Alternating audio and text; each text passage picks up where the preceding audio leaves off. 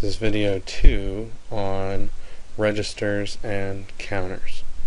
So as we ended up last time, we were talking about how to transfer data from one register to another. And so this is a very important concept within microprocessors, really any digital technology, as you want to take results of one computation, move them somewhere else. The value from one register you may need to copy into another register so you can process it in some way. And so what we will do to transfer data is use what is known as a tri-state bus.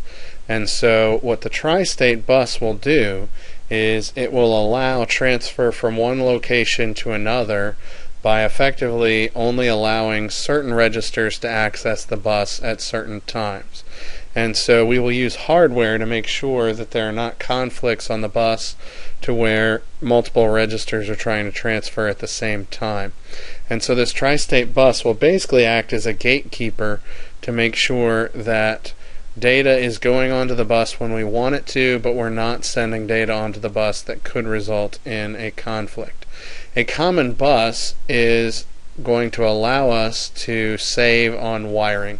Just like you don't have a dedicated path from your home directly to everywhere that you drive that's only available for you, we have shared pathways. And so you can think about data in a digital system being like cars on a road. And so we share the highway system, we share our neighborhood roads, and that same pathway has certain rules. So if you're trying to back out of a driveway and your neighbor's trying to back out of a driveway, you only allow one of those to happen at a time, or else you end up in a collision in the middle of the street. And so you need to make sure that the data that's already on the bus is allowed to pass through before the next data is put onto the bus for transfer. And so we will see how that works.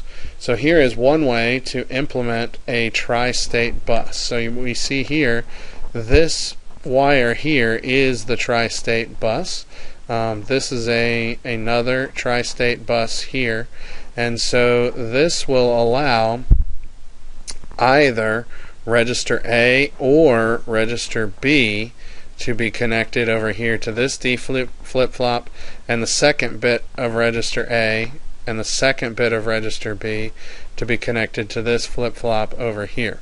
And so this is a very simple example where we're going to use tri-state buffers to determine which one is allowed to access that shared pathway of the tri-state bus. And so this works if you only have two registers. So in this case, we have register A and register B. They're both 2-bit registers, and we need to use this tri-state bus to transfer one or the other over here to this register Q that we will have as output. And so this enable signal, if it is a logic 1, you will notice that it enables this buffer here and it enables this buffer here. So if it's a logic 1, then the A1 is active on this bus and A2 is active on this bus down here. If it is a logic 0, notice that goes through this inverter. Now you have a logic 1 right here on this buffer and you have a logic 1 on this buffer down here. So what that means is if you have 0 then the B1 and B2 are active on the bus. So depending upon whether you put in a 0 or a 1 you're determining whether you're driving register A or register B to have access to the bus at any given moment. And then when those are set up on the bus, then you can determine when you want to load. So if you wanted to transfer register A over here to this output register here, what you would do is put in 1 on the enable, make sure register A is set up on the bus, then you would activate your load line, which would enable these to pull in, and on the next clock cycle, then the output Q would take on whatever's on A1 and A2. If you wanted to likewise transfer registers from the B register, B1, B2, then you would put a 0 and that would activate the B register onto the buses and then similarly would load it and clock it in. So, how is a bus like a bus? Well, as a bus circulates around town or around campus, this is one of our old ECU buses that you see here. We have new wraps on them uh, now, of course, but this was back during the centennial a little over 10 years ago the bus goes from one location to another. So you can think about different bus stops as being different register locations. So if you wanted to take people from, say, the Christenbury Gym on campus to different apartment complexes, there are certain times when that bus is going to be at different locations and you can load the data into the bus just like people load into a physical bus and then they go to a different physical space. So memory actually is a physical space occupied inside of a digital environment. And so just like we have actual physical spaces that buses allow us to commute to, you have a certain sequencing, you have a certain uh, location where this bus goes. And a bus route has a distinct order for a reason, and so does data transfer. So when you're transferring data from one register to another, there are certain orders that things have to come in. So especially if you're sending multiple bits, you may be routing things in specific orders, and so you want to make sure you do that.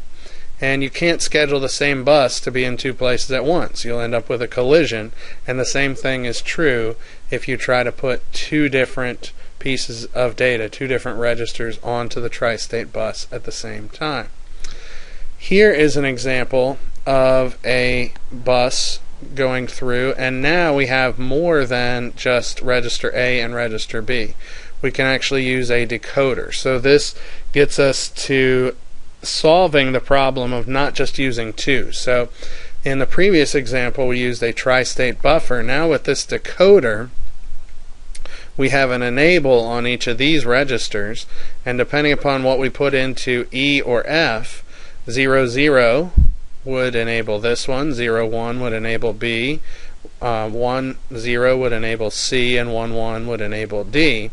And that's going to put all 8 bits of this register out onto a bus, depending upon which one is selected using the decoder. And then if you want to transfer that to register G or register H, once the register that you want is out onto the bus, then you can choose to either load G or load H. Maybe you want to copy it into both G and into H. And so let's look at an example. Let's suppose you wanted to transfer the contents of register B into register H. So B is going to be right here. That'll be the source. You would put 0, 1 in for E and F. That would put a 0 out here. Enabling register B. Register B's contents would go on to the bus. So now this bus is connecting whatever's in register B to both these lines and these lines. But if we only want it to go into register H, now we activate the load on register H, and on the next clock event, now register H holds the contents that were in register B previously. So we will stop there, and next time we will pick up and talk about accumulators.